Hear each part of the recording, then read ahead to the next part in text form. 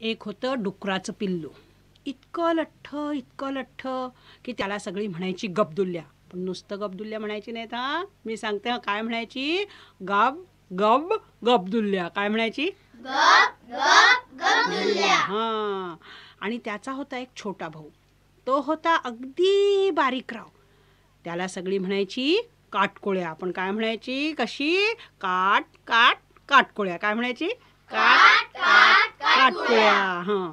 आई आणि बाबा सकाळीच उठून बाहेर गेले अन्न शोधायला की गबदुल्ल्या आणि काटकोळ्या दोघंच राहायची. गबदुल्ल्या काटकोळ्याची खूप थट्टा करायचा. म्हणायचा अरे किती रे बारीक तू. वाऱ्याची झुळूक आली तरी पडशील. पण मी बघ वादळाचा वारा आला ना तरी राहीन उभा जागच्या जागी आणि तो चारी पाय जमिनीवर थापकन आपटून उभा राहील. तेवढ्यात काटकोळ्याला धक्का द्यायचा. त्यामुळे काटकोळ्या धापकन पडे मग गब्दुल्ले हसायला लागायचा. कसा हसायचा माहिती हो हो, हो हो हो हो करून हसायचा. आई बाहेर जाताना दोघांना खायला देऊन जाई. पण गब्दुल्ल्या काय करी? आपल्या वाटणीचं खाऊन टाकी. आणि काटकोळ्याच्या वाटणीतलंही थोडं काही. त्यामुळे गब्दुल्ल्या जास्तच गब्दुल्ल्या होत चालला होता. कसा काय जास्त होत चालला होता? गब गब गबदुल्ल्या आणि काटकोळ्या जास्तच काटकोळ्या होत चालला होता कसा काय? कसा? काटकोळ्या. दोघ जण दुपारी चिखलाच्या डबक्यात खेळायला लागले तर गबदुल्ल्या सगळी जागा अडवून टाकायचा. काटकोळ्या आपल्या डबक्याच्या कडेला उंच गवतात बसून राहायचा. गबदुल्ल्या त्याच्या अंगावर थोडासा चिखल उडवायचा तेवढाच त्याला मिळायचा. डुकरानं चिखल आवडतो की नाही खूप? पण काटकुळ्याला आपला एवढासा चिखल मिळायचा. एक दिवस आई म्हणाली काटकुळ्या. अरे किती बारीक होतोयस रोज रोज. आणि हा गबदुल्ल्या जास्तच फुगत चाललाय. कसा होत चाललाय? गप गप गबदुल्ल्या होत चाललाय.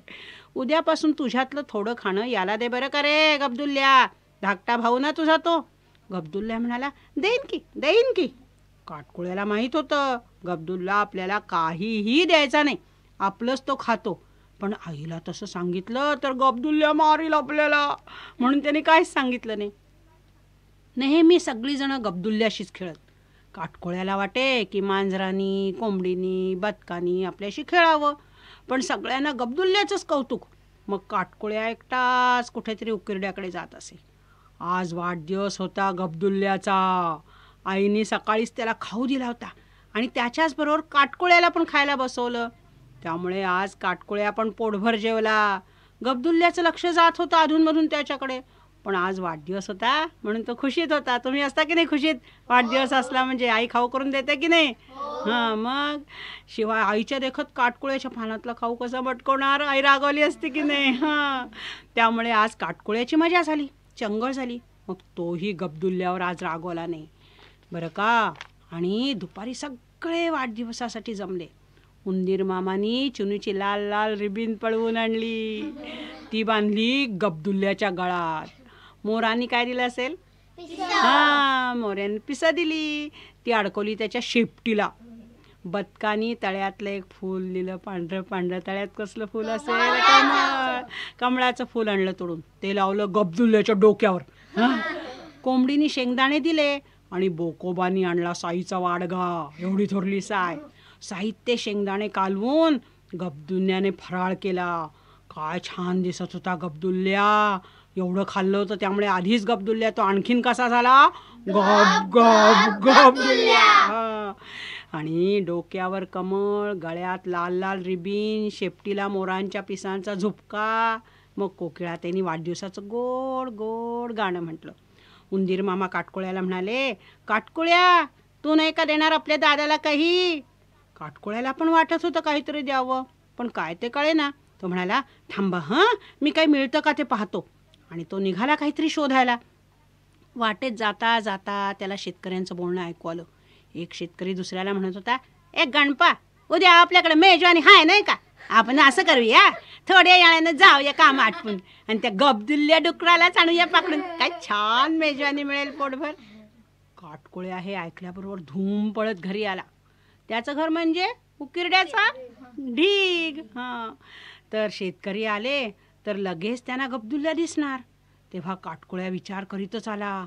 आल्याबरोबर गब्दुल्ल्याला म्हणाला अरे दादा दादा अरे कुठेतरी लपायला हवं. गब्दुल्ल्या म्हणाला वा आज मी इतका छान नटलोय. आज मी मुळीच लपणार नाही. आज मी रात्रीपर्यंत मिरवीत राहणार आहे. हा, हा, हा, हा. अरे पण ते शेतकरी तुला पकडणार आहेत थोड्या वेळानं. कोण म्हणतं? अरे मी ऐकलो त्यांचं बोलणं. म्हणून तर धावत धावत तुला सांगायला आलो. आता मात्र गब्दुल्ल्या घाबरला. म्हणाला आता कसं रे करायचं काटकोळ्या? या उकिरड्यावरला पैसे तरी कसं? काटकोळ्या म्हणाला दादा तू त्या चिखलाच्या डबक्यात लपून बैस. तुझं डोकं फक्त वर ठेव. मी काठावरच्या गवतात उभा राहीन. माझ्या पोटाखाली तुझं डोकं ठेव. गवतात लपून जाईल आणि तुला श्वासही घेता येईल. अरे पण तू दिसलास तर ते तुला पकडतील ना? गब्दुल्ल्या म्हणाला. तो म्हणाला मला नाही पकडणार. मी नेऊन काय म्हणणार आहे त्यांना? मी असा बारीक राव कसा मी?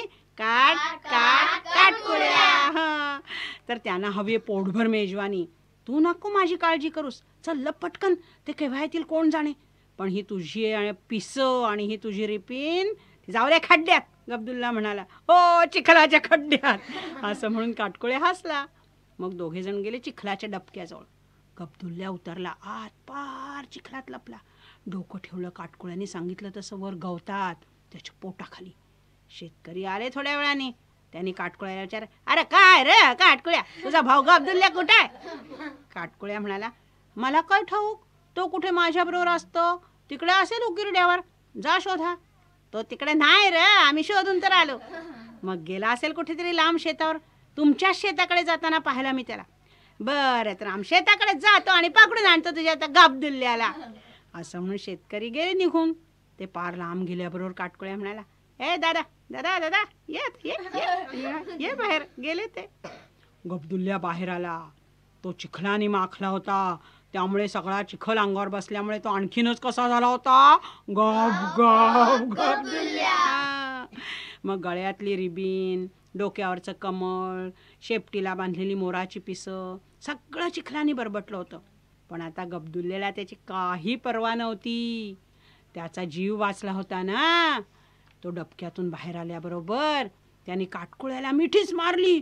तो कसा गबदुल्ल्या आणि हा? काटकुळ्या. हा, काट काट काटकुळ्या. तो काटकुळ्या म्हणाला अरे अरे अरे अरे मला नको मी शेपतोय मला दुखतंय मला दुखतंय. तो म्हणाला अरे काटकुळ्या अरे मी तुला इतका त्रास दिला पण तू आज मला वाचवलंस. आता मी तुझा खाऊ तर खाणार नाहीच पण माझ्यातलाच तुला देईन. इतकं काटकुळं राहून नाही चालणार. तू कसा आहेस अगदी काट काट काटकुळ्या. तर काटकुळ्या म्हणाला अरे काटकुळच बरं. तू माझा दादा नाहीस का? मग मला कळल्यावर मी तुला वाचवायला नको का? मी काटकुळं राहिलो म्हणून तर मला त्यांनी पकडलं नाही.